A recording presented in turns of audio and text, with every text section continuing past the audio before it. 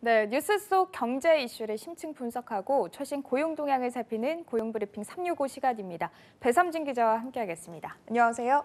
안녕하십니까. 네. 자, 오늘 짚어볼 이슈 어떤 건가요? 네, 코로나19 비대면 시대를 이제 앞당기면서 이제 모든 게 배달되는 시대죠. 이 소비자들은 이제 새로운 라이프 스타일에 환호하고 있지만 매장을 내고 고객을 맞이하던 전통적인 이제 자영업자들은 설 자리를 잃고 있습니다. 이 포장과 배달로 소비자가 옮겨가면서 넓은 매장은 이 점차 사라지고 이 물건을 수령하거나 이제 배달하는 용도로 오프라인 매장의 변화가 필요한 시점인데요.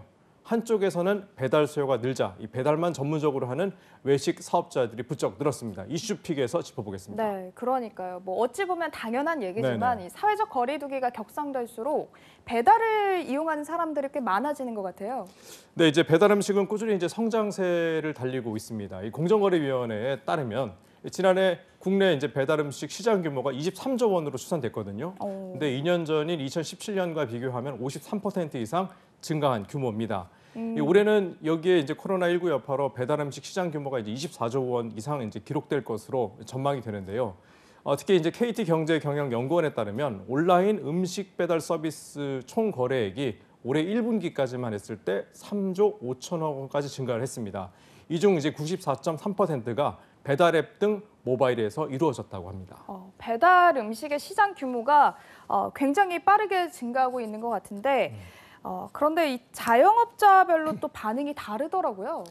네, 이제 코로나 19 재유행이 이제 반복되면서 결국 이제 영업 제한도 많아지고 또 큰 매장을 가지고 손해 보는 구조가 되고 있습니다. 이 손님을 받을 수 있는 시간도 짧아지지만 유지 비용은 그대로 이제 들어가기 때문인데요. 이 연초부터 이제 버티던 가게 중 일부는 임대료와 적자를 이기지 못하고 폐업을 하기 시작했습니다. 음. 이 통계로도 확인이 되는데요. 행정안전부에 따르면 전국 190개 업종 사업체의 이 폐업 현황을 분석한 결과 아, 7월 전국 폐업 사업자 수는 이총 14,500여 개로 계속 증가 중입니다. 네. 이 코로나 재확산이 본격화된 하반기에는 더 늘어날 게 불보듯 뻔한 상황인데 이 소상공인 진흥공단의 이게 최근 이제 4년간 폐업 지원금 지원 현황 자료에 이 올해 상반기 폐업 지원금 신청자 수는 4,520여 명으로 지난해 연간 신청자의 70%를 넘긴 상태입니다. 어, 진짜 뭐 실제로 이 식당가에 가보면 비어 있는 곳들이 꽤나 많더라고요. 그렇죠. 예. 네, 그래서 이제 한국감정원에 따르면 이제 신촌이나 이제 명동 상권 공식률을 이제 조사한 것들이 있는데 최고치를 기록했습니다. 어. 이제 명동, 이태원 등 이제 세 곳 중 한 곳의 상가가 이제 비어 있는 상태고 정말 또 많- 많이 그렇죠. 비어 있네요. 음. 네, 신촌의 이 중대형 상가 공식률도 이제 조사 이래로 가장 높은 수치를 보였습니다. 그래서 이제 자영업자들은 이제 배달 비중을 늘리면서 생존 전략을 세우고 있습니다. 홀 면적을 줄인 이 배달 전문 식장이 늘어가고 있는 겁니다. 음, 근데 그렇다고 사실 현실적으로 좀 생각을 했을 때 당장의 매장을 좀 축소하는 음. 거는 쉽지 않잖아요. 그렇죠. 이제 그래서 이제 임대료와 이제 구종비를 낮추고 이제 배달 비중을 높이고 있는 샵인샵 이 형태의 가게들이 늘어나고 있습니다. 어. 이 샵인샵은 하나의 이제 상가에서 각각 이제 다른 업종의 샵을 동시에 운영하는 형태인데요. 예를 들어서 이제 직장인들이 많이 몰리는 이제 오피스 상권에서 낮 시간에는 돈가스 식당을 운영하고 저녁부터 이제 밤까지는 치킨을 배달하는 그런 가게로 이제 운영하는 방식인데요. 매장 내 테이블 수를 줄이고 또 주방을 두 개로 나눠서 한쪽에서는 피자를 또 한쪽에서는 김밥과 분식을 배달하는 이 판매하는 것도 이제 대표적인 샵이샵 형태라고 볼 수 있습니다. 네. 어, 피자, 김밥 얘기하니까 배가 고픈데 네, 자영업자들이 이제 이렇게 말씀하신 것처럼 샵인샵 형태로 좀 자구책을 마련해 나가고 있는 것 같은데요. 뭐 샵인샵 말고 또 다른 방법이 있을까요? 네, 이제 그래서 이제 전문가들은 코로나 이제 시대의 이제 산업 구조 재편에 맞춰서 자영업자들의 체질 개선이 뒤따라야 된다 이렇게 조언하고 있습니다.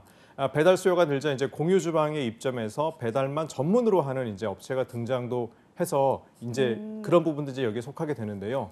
공유 주방이라는 것은 뭐냐면 이제 여러 사업자가 이제 한 개의 주방을 동시에 사용하는 주방 형태를 의미합니다. 네. 기존 주방 설비가 이제 갖춰져 있는 것은 물론이고 여기에 이제 입점 업체들끼리 이 배달 대행 업체를 공유하고 또 식자재 주문도 같이 하는 방식으로 비용 절감을 이제 하는 그런 방법으로 운영이 되고 있는데요. 네. 예, 무엇보다 이제 가장 부담스러운 것이 이제 임대료인데 임대료를 낮출 수 있어서 배달 중심으로 외식 사업이 개편되면서 이제 주목받을 수 있는 이제 새로운 모델로 꼽히고 있습니다. 말씀하신 것처럼 이 비용 절감을 할 수 있는 그 부분이 굉장히 음. 어, 자영업자 분들에게는 매력적인 부분으로 다가올 것 같은데 뭐 기존에 자영업을 하고 계신 분들도 그렇고 새로 이제 창업을 하시는 분들에게도 이런 공유 주방이 굉장히 매력적으로 좀 새로운 대안으로 자리를 잡지 않을까 이런 생각도 들거든요. 네, 맞습니다. 이제 전문가들에 따르면 이제 10평 규모의 분식점을 분식점의 경우에 단독으로 차릴 경우 임차료와 인테리어 또 주방 설비 비용으로 한 1억 원 정도가 들어가거든요. 그러니까요. 그런데 이제 매장을 제외한 이제 4평 규모의 공유 주방으로 대체하면 기존 비용의 20%를 들이고도 분식점을 낼 수 있는 겁니다. 그러니까 한 1억이 들어갔었는데 이제 2천만 원 2천만 정도 원. 한다는 거죠. 이렇게 이제 만든 음식을 배달 서비스를 통해서 수요자에게 공급을 하면 비용도 더 줄어들고 이익은 극대화되는 거죠. 하지만 이제 시작부터 수월한 건 아닙니다.